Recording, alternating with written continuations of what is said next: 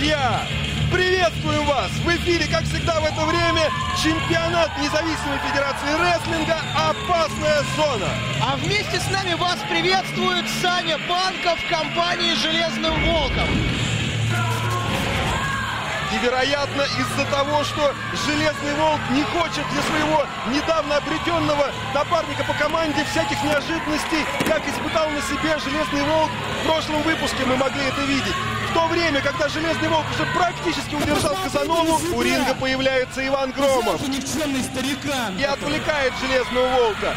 Казанова не упускает момент, атакует Железного Волка, делает ему свой коронный криптонический хруст. И после этого, пожалуйста, удерживает его ко всеобщей неожиданности. А Иван Громов покидает ринг с довольной улыбкой на лице. Я думаю, что эта ситуация на этом просто так не закончится. Ну что ж, это мы узнаем дальше. А пока что Голубой Гром выходит к рингу. Сегодняшний соперник Сани Банкова.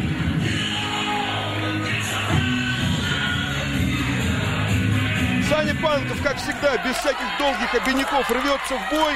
И смотрите, хотя чемпионат «Опасная зона» проходит в совершенно новом месте, на сей раз это было в городе Фрязино Московской области, какая неожиданная поддержка! Смотрите! Ну, что тут можно сказать? Это значит, что в городе Фрязино Московской области зрители также смотрят независимую федерацию рестлинга чемпионат «Опасная зона». И уже у Сани Панкова есть свои поклонники и поклонницы. Но ему в этом бою они не помогут, потому что противостоит ему один из самых опытных борцов Федерации Голубой Гром. Ого, смотрите, хотя и принял а, мощный плечевой блок а, Саня Панков чуть ранее от Голубого Грома, но тут же в ответ по ему провел мощный хиптоз. Да, больно! Еще бы такой хиптоз. Ну ты, блин, мужик, в конце концов, голубой гром. Ты борец, так что молча терпи боль, залезай на ринг и продолжай драться. Что-то похоже, голубой гром не особенно торопится на ринг. В каких-то раздумьях. Ну, может быть, человек продумает в голове какую-то тактику, как ему совладать с Ани Панковым, потому что как-то э, стыдно будет для него, такого опытного борца НФР, проиграть, ну, не неопытному, скажем так. Саня Панков тем временем демонстрирует кое-какие приемы из ассортимента так называемого чейн-рестлинга и выходит на хедлок. И, похоже, не собирается разжимать голову а, голубого грома из своего захвата. Подождите, а зачем голубой гром лезет на канаты еще при этом? Ой-ой-ой-ой-ой, вот это он сделал зря. Ну как, зачем? Потому что, когда любая часть тела рестлера находится на канате, то это повод судье для того, чтобы он приказал расцепить захват. Но в этот раз, похоже, это сработало против голубого грома.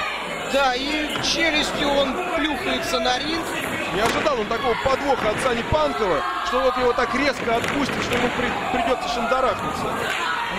Посмотри, по началу матча я стал, я стал замечать, что как-то Саня Панков, он более подготовленным вышел, что ли, на этот бой, потому что он такое ощущение, что предугадывает все, всю тактику Голубого Грома, все хитрости Голубого Грома. Это вот особенно сейчас, когда он находится, когда рука его зажата в захвате армбару Голубого Грома, не особо-то он, похоже, чего-то предугадывает, потому что второй раз э, попадает на тот же самый армдраг.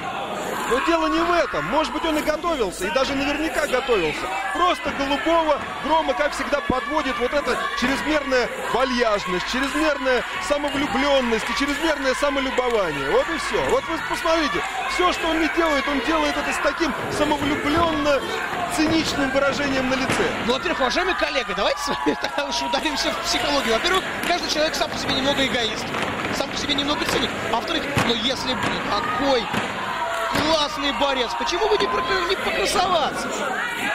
Всему есть своя мера. Вот в чем дело. А голубой гром, как я уже сказал, не знает в этом меры. И смотрите, ну и конечно, ну что это такое? Ну грязная тактика, просто хоть, качестве иллюстрации в учебники вставляй. Да вот, пожалуйста, тычок в глаза. Да вот, почему же грязная? Вот, пожалуйста, ущип за язык, по-моему, только что. Ну почему же грязная? Посмотрите, судья бой не остановил, не остановил.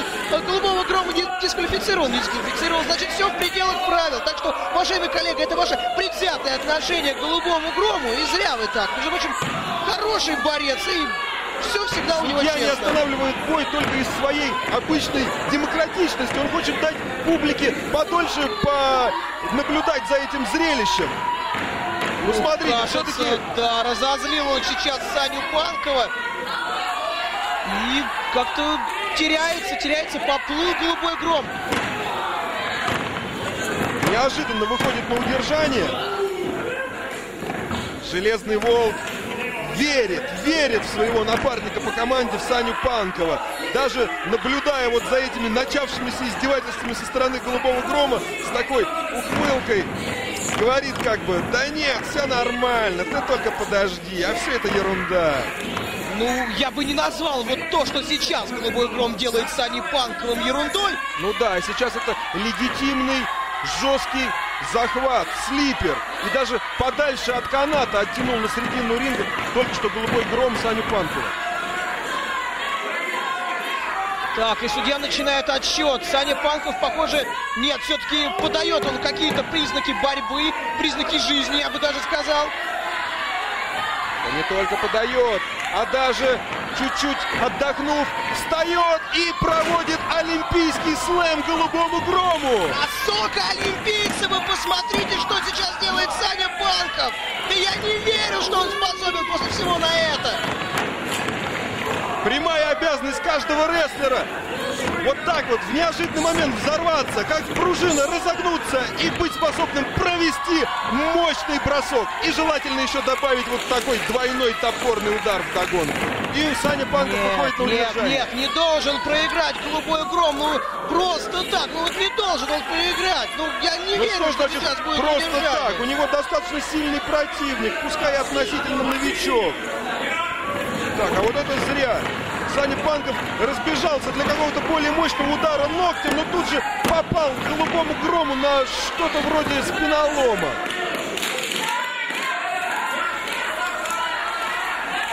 Да, да голубой гром давно бы выиграл у этого Сани Панкова, если бы он не отвлекался на всяких железных волков и прочее. Как говорила моя бабушка, плохому танцору ключи в карманах мешают. Да, ваша бабушка обладала потрясающим чувством юмора, уважаемый коллега. И снова, смотрите, и снова голубой гром прибегает к грязной. Прямо на глазах у судьи, прямо на середине ринга пытается рукой своей придавить прямо за кадык, за горло придушить Саню Панкова. Ну, ку- ну куда это годится вообще? Вот, пожалуйста, и майкой теперь удушение в ход идет. Да почему? Почему же? Какое удушение? Вот все, судья говорит, нет, Не, я ты не лучше- должен удерживать его майкой. Все, он его не удушает, не, не прививает у него удушение майкой. Ну, еще бы принял, да, еще бы сказал, молодец, души дальше. Вот было бы совсем хорошо. Так что голубой гром выполняет в точности указания рефери. Все у него по-честному. Это опять все же ваше предвзятое отношение к голубому грому. Ну, болеете вы за Саню Панкова, уж признайтесь. И Саня Панков путем своего станнера выходит из очередного слипера голубого грома. Я думаю, что именно так и должно было произойти. И как, и как наказание вот этот дополнительный наброс голубого грома на канаты. Потому что тем самым Саня Панков как бы дает голубому грому почувствовать все те нехорошие вещи, которые незадолго до этого голубой гром применял по отношению к Сане Панкову. Раз, два, удержание. Нет, нет, нет. Да, вы Было что-то новое, да, в этом удержании. Да, что-то не так. Такое полуудержание березкой. Но к чести э, голубого грома не получилось у Сани Панкова выиграть. У него пока что бой продолжается. И сплэшем припечатывает его Саня Панков. Нет, нет, вырывается снова голубой гром. Не так-то просто победить его. Не так-то просто, но и, конечно, в течение этого боя Голубой Гром несколько сдал, потому что не ожидал, видимо, он такое сопротивление встретить со стороны этого недавнего дебютанта Сани Панкова. И смотрите, теперь и слипер тоже Голубому Грому пришлось испытать на себе. Вы видели это? Вы видели это? Да, я видел это! Это модифицированная бомба голубого грома, и это победа голубого грома! Вообще-то я говорил не о том, а о том, что было до модифицированной бомбы. Это был удар назад по отмаш снизу вверх между ног. Это незаконный прием. Уважаемый коллега, говорю вам в миллионный, в тысячный раз, судья бой не остановил. Значит, все было в пределах правил. Абсолютно честная, честная, заслуженная победа голубого грома и любовь поклонниц. И даже с поклонницами он кочевряжется. Ну а сейчас, дорогие друзья, мы переходим к обзору командного турнира НФР, стартовавшему в начале этого года. В первом матче 1-8 встречались команды Медбратьев и Физкульт Привет. Несмотря на то, что команда Медбратьев практически весь матч имела преимущество и дубасила Физкульт Привет как хотела, особо сильно это им не помогло. Вот вы можете видеть самые зрелищные и красочные моменты этого матча. Даже двойной бульдог, это им не помогло. Двойной DDT и команда Физкульт Привет одерживает победу в этом матче. Второй матч 1-8 финала или так называемого плей-офф. Относительно свежая команда «Адские клоуны» встречались с настоящими ветеранами российского рестлинга Ронни Кримсоном и Локомотивом. И хотя «Адские клоуны» провели пару непростых атак, но они мало что все-таки смогли сделать против Ронни Кримсона и Локомотива. Достаточно легко одержали последнюю победу после своего вот такого фирменного кроссбади суплекса. Третий матч 1-8 между собой встречались команда Exotic Style Amigos Диего Гонзалеса Торрера против группировки Коза Ностра Вася Штырь и Ложкинский трактор Петруха. Был очень интересный, захватывающий, зрелищный матч. Красивые динамичные атаки как с одной стороны, так и с другой. Но победу в этом матче одержала команда Exotic Style Amigos, которая встретится в 1-4 с командой Физкульт Привет. Ну и последний, и, наверное, лучший и самый интересный матч 1-8 финала – это Казанова и Синий Гром против Антона Дерябина и Славы Нескубина. Ничто, как вы видите, не могло остановить всесокрушающую мощь бывшего чемпиона НФР Антона Дерябина. И в конце матча, после вот этого впервые исполненного 3D, Антон Дерябин и Слава Нескубин одерживают победу и становятся четвертой командой 1-4 финала. Следующий матч командного турнира вы увидите сразу после короткой паузы.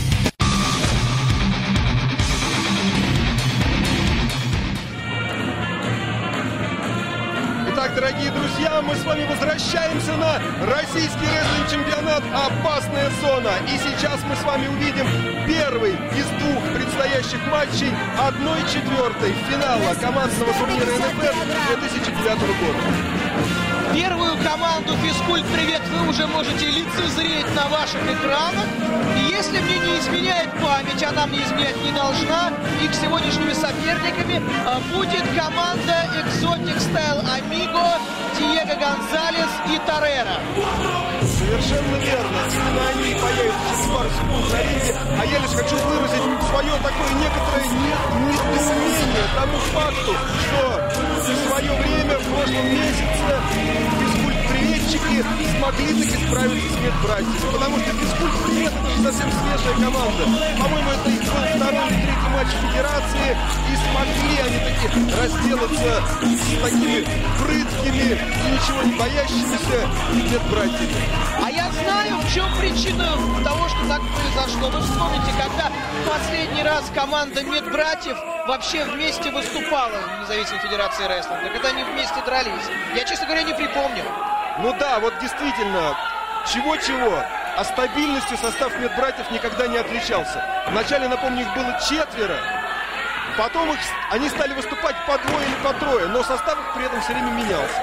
И вот даже, по-моему, в их последнем матче против Физкульт Привет, медбрат Витя появлялся чуть ли не в первый раз в качестве медбрата. Уважаемые коллеги, пока вы тут рассказывали про медбратьев, Диего Гонзалес умудрился на первых 15 секундах матча провести свой коронный прием на, э, кажется, физкультурнике Олеги. И только грамотное своевременное вмешательство физкультурника Александра спасло команду физкульт привет от такого позорного поражения.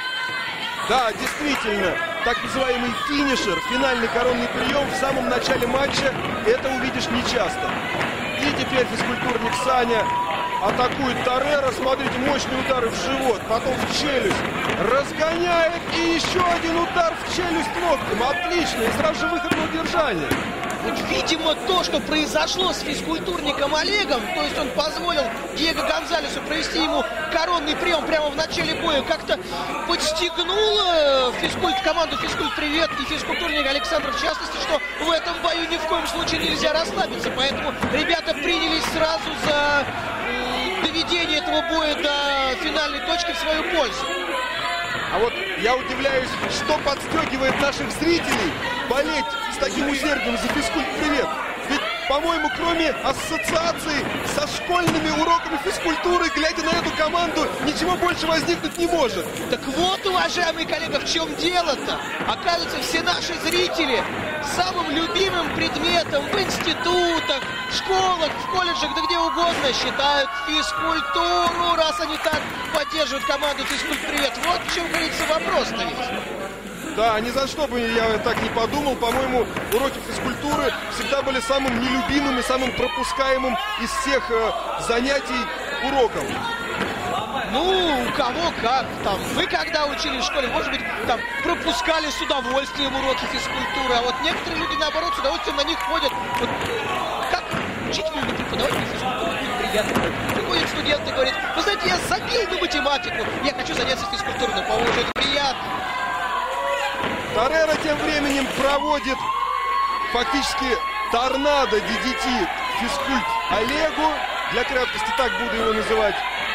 И теперь какое-то время у них, я имею в виду у экзотических амигосов, есть э, несколько секунд атаковать вдвоем одного физкультурника Олега. И Диего применяет свой вот такой фирменный завис, зацепившись за шею Олега. Олег ничего пока что не может сделать против Диего и Торрера.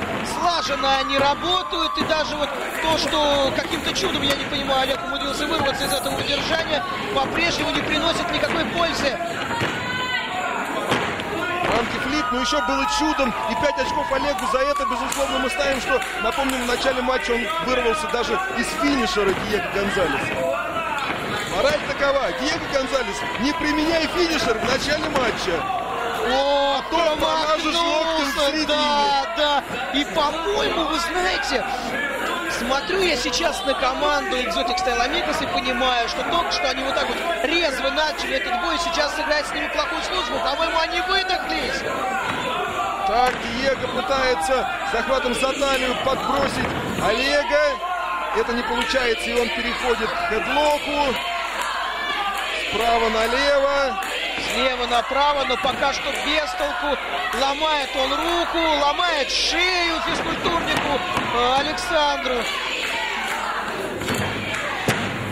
Торрера может хлопать сколько угодно, но нашим российским закаленным физкультурой, физкульт-приветчикам такие шиеломы нипочем.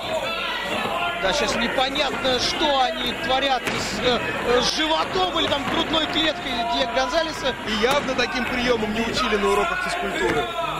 Может быть, они оставались на дополнительные занятия. Может быть, И даже на них не учили таким жестоким вещам, как насад копчиком на свои колени. Может быть, здесь дело в другом, что, может быть, физкультурники, они уже выросли из учеников Ой. и стали преподавателями физкультуры. Может, они придумают какую-то там свою новую разминку. Инцигири отправляет э, физкульт Александра в нокдаун. И Диего продолжает атаку. Александр реверсирует, но получает летящий шлагбаум. Действительно красиво. Да, что ж тут говорить. Диего и Торрера, два таких амигос красавчики.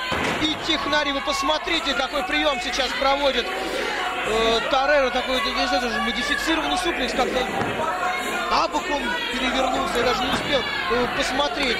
Просто радует нас команда, кстати, наша команда турнире, я заметил. Очень много технических приемов. Давненько мы этого не видели. Мне кажется, вообще командный турнир НФЛ пошел на пользу нашей команде. Безусловно, каждая команда знала, с чем ей предстоит столкнуться, а именно с жестокой конкуренцией, поэтому готовились кто как мог. Немножко засиделся, застоялся на углу Торрера, и физкультурник Александр, пользуясь моментом, уходит у него с дороги. И снова вдвоем против одного физкульт Олеги и Александры в одном лице. И Неужели они сейчас сделают Ой, это? Сейчас, да, сейчас будет плохо. Сейчас, во-первых, будет разминка, потому что без разминки Никогда никуда. так не делайте, друзья мои. О, можно я не буду на это смотреть? Это такое жуткое зрелище. Смотрите, Диего не выдерживает, спасает своего напарника, врываясь в матч э, не, собственно говоря, в нелегальный для него момент. Между прочим, рискует сейчас, рисковал сейчас Диего Гонзалес. Судья мог просто дисквалифицировать его за вмешательство. Ой, Ничего смотрите, себе! вот это электрический стул-дроп-кик, это именно то, чем выиграли свой матч против Коза Ностры Диего и Торрера в прошлом месяце. Но судья не считает, потому что, по-моему, Александр э, это не тот э, оппонент, которого э, нужно удерживать в данный момент. И продолжает свою битву Олег против Торрера. Закрученный шейлом, удержание, раз, два, нет, нет, вырывается Торрера. Не смог воспользоваться вот тем, что испанец отвлекся сейчас физкультурник Олег. Олег уже по традиции освобождается от второго своего противника, от Торрера в данном случае, для того, чтобы никто не помешал Олегу и Александру сделать вот этот DDT, каким они выиграли у медбратьев. И может быть даже и выиграют им и сейчас. Нет, опять Диего Гонзалес влезает в этот матч, но он И рискует. выиграли, и выиграли бы, если бы не Диего Гонзалес. Второй раз сейчас рисковал Диего. Мог, еще раз говорю, мог просто дисквалифицировать команду Exotic Style Amiga, наш рефери, вот за эти вот вмешательства. Но, видимо, хорошее настроение у нашего сегодняшнего рефери не стал он этого делать. Олег хочет убедиться, что Диего не возвращается на ринг. И смотрите, каким самоотверженным способом он это делает. Пожертвовав собой, приминает за рингом Диего Гонзалеса. На ринге тем самым остаются один на один Торрера и Подножье Александр. скалы! Подножье скалы проводит сейчас Торрера физкультурнику Александру. И, по-моему, это все. По-моему, сейчас будет маятник. Совершенно верно. Разбег. И вот он. Удержание. Раз, два, три. И команда Exotic Style Amigos выходит в полуфинал командного турнира Независимой Федерации Рестлинга. С чем мы их и поздравляем. Только благодаря тому, что Диего все-таки заблокировал изначально пытавшегося заблокировать его за рингом физкульт Олега. Ну что ж, друзья, это значит, что первая команда, которая выходит в полуфинал, это Exotic Style Amigos, Диего и Торреро. Ну что ж, дорогие друзья, в следующем выпуске нас ожидает бой за чемпионский пояс НФР. И вот как участники подошли к этому матчу. Ну что ж, а, я подумал и принял решение. Бой между Рейвом и Егором Казаевым будет сегодня позже. В зависимости от результатов этого боя и от того, что борцы покажут на ринге, я определю того единственного, кто достоин драться за чемпионский пояс независимой федерации рестлинга.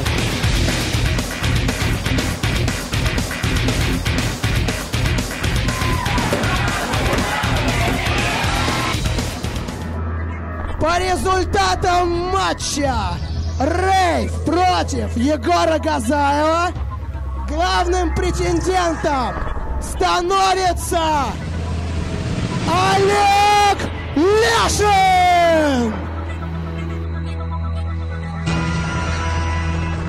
Пахнив, если ты всерьез думаешь, что ты таким образом от меня избавился, что ты меня лишил чемпионского пояса, который я мог бы выиграть, то ты меня недооцениваешь. Ты либо ненормальный, либо мазохист. Но если ты так хочешь, то в сегодняшнем матче за чемпионский пояс НФР между Вулканом и Олегом Лешиным ты будешь третьим участником! Только учти, после этого и Олег, и Вулкан будут знать, кого они переломают в этом матче. В первую очередь! Так, дорогие друзья, на следующей неделе один из главных матчей этого месяца. Олег Лешин против Рейва, против Вулкана. Бой с тремя участниками за пояс чемпиона НФР.